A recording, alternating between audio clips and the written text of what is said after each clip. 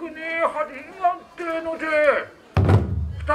柱の御亀区立主をうまんとして一条三男を見たも三男目の下の重みことをプレなり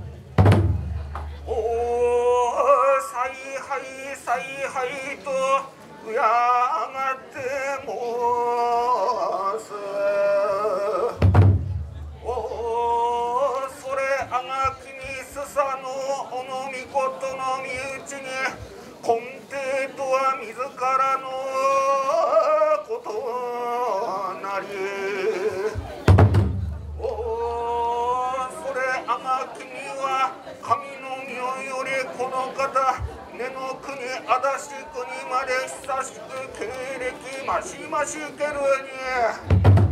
ある時日れて巨炭に宿を壊せたまえば婦人にして宿かし立てまつらず。庶民は貧しけれども宿かし立てまつる泡から大しき泡の家を立てまつれば天皇大いに喜び。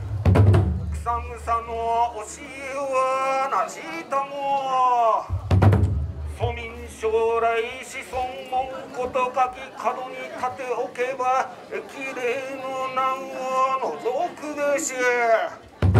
また堺を子さんと思わば榊に指令をかけ一愛をして送るべし